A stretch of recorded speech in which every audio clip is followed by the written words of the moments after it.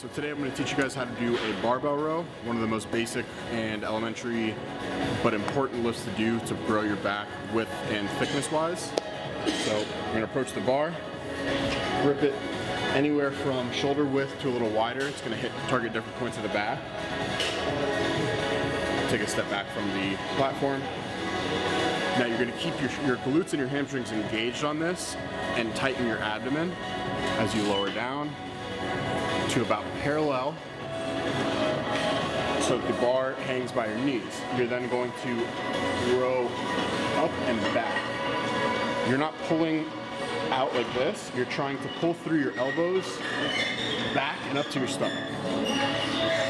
A big mistake that a lot of people make when they do this is using momentum to swing the bar up or, using too much weight so they have to round their back this is what you don't want to look like. This is what you do want to look like. Shoulders engaged and back, legs tight, abs tight, back tight.